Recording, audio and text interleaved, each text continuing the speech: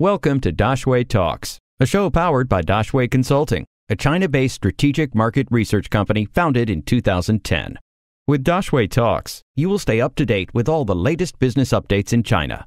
Every day, you will learn from China based experts who share their knowledge about the Chinese market in two to five minutes. Hello, I'm Marc Burban, founder of Asian Risk Management Services. We are an insurance broker specialized in general insurance. General insurance provides coverage in every situation where an accident may occur. We help our clients to mitigate risk they may face through insurance coverage. We combine an international and local expertise. What is the process the insurer handles in a claim?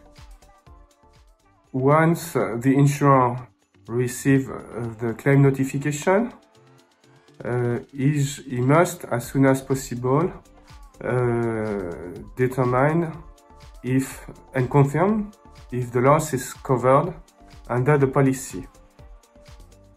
So the insurer must make a decision within uh, 30 days from the date he receives uh, the claim notification. Um, if he is not able to determine if the loss is covered or not, he must conduct um, uh, survey, investigation to find out the cause of a loss.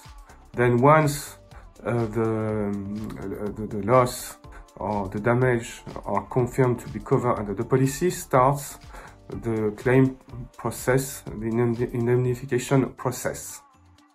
So once uh, the loss is, determined is confirmed to be covered, so the insurer uh, start uh, the indemnification, indemnification process.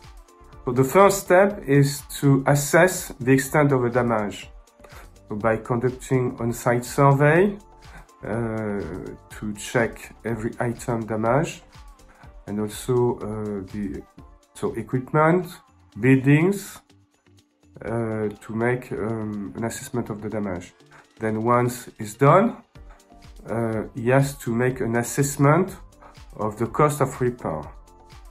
And also, what he has to do, he has to check uh, the property, the ownership uh, of the uh, uh assets uh, damage.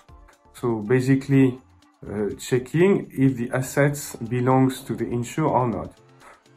one way of so the way of doing that is to check if all the assets are recorded under the, the, the, the balance sheet, so the asset list. And also, uh, to, another, another things to check is, uh, or another way to um, to make sure the, the, the, the, assets belongs to the insur insured is to ask to the insured to provide um, the original invoice. Any questions? We will find an expert to answer them. Drop your questions in the comments or send us an email dx at daxueconsulting.com.